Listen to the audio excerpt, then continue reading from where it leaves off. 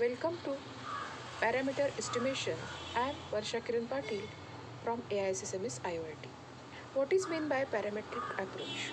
The parametric approach is assuming that given sample is from the distribution that obeys a known model. For example, Gaussian.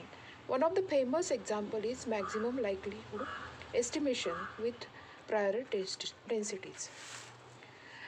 Now let us take one of the parameter estimation by covariance matrix. So uh, we know that for param- parameter estimation, if multivariate data, data is there, then for the multivariate data, we are having multiple inputs and multiple outputs. We can represent our data with D columns, which can be called as inputs or which can be called as features or attributes. For a matrix of X having n rows which are independent and identically distributed, if such a matrix is taken into consideration, and for that matrix, if predicted output or predicted variable is discrete, then it becomes a classification problem. Whereas if predicted variable is numeric, then it becomes a regression problem. Now let us have some of the examples for parameter distribution. So uh, let us take the example which is having mean of each vector of that particular column uh, matrix is equal to mean of column x. Then we can have expected value is equal to mean for that particular that is uh, we can call it as a matrix mean. So let us have the parameter estimation where we can have the uh, next thing that is we can have the variance of x of i which can be convert can be uh, decided with the help of covariance matrix of two variables like x of i and x of j.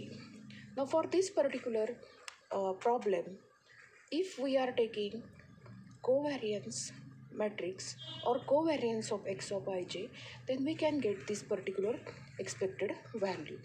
Now let us take the covariance matrix and then for that covariance matrix we can say that the diagonal forms are variance of that particular matrix and diagonal terms are covariances uh, matrix is called as symmetric now let us take parameter estimation with the help of correlation.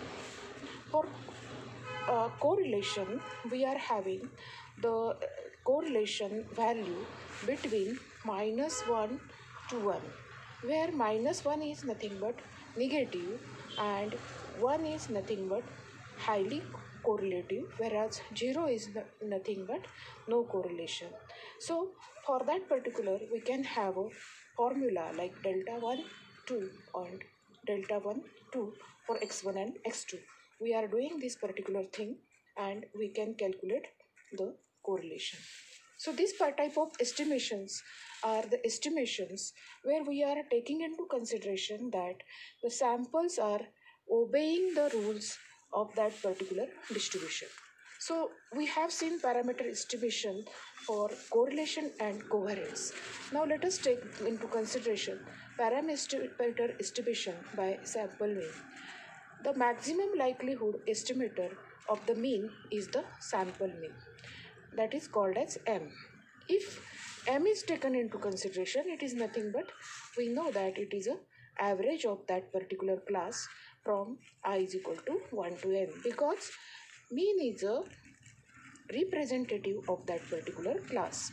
So we can calculate parameter estimation for sample mean with the help of covariance matrix as shown in the that is uh, this particular equation. So these two are the biased estimations which are giving again parameter estimation of the sample mean. Thus we can calculate the parameter estimation with the help of statistics for n number of things like we can have correlation whether the two things are related to each other or independent with each other or we can calculate covariance matrix or we can calculate the sample mean or for example we can have sample correlation calculation with the help of this particular formula. The sample correlation contains this particular Rij so that we can have the that is whether two samples are dependent, independent or the multivariate samples which are having n number of columns and n number of rows are dependent with each other or not or at all not at all that particular uh, problem of research can be solved. Also, we can have the parameter estimation for missing values. In data science, there is a problem of missing values and these missing values can be parameter estimated. So, parameter estimation is very important technique in data science and AI which supports missing value to be imputed with the help of replacing missing value by estimation of that value. So, I am uh, stressing upon the estimation of parameter is very important in today's world for giving the imputation of that value by estimation techniques. One of the estimation technique discussed in this lecture can be used for that particular thing or we can go for popular methods like mean imputation.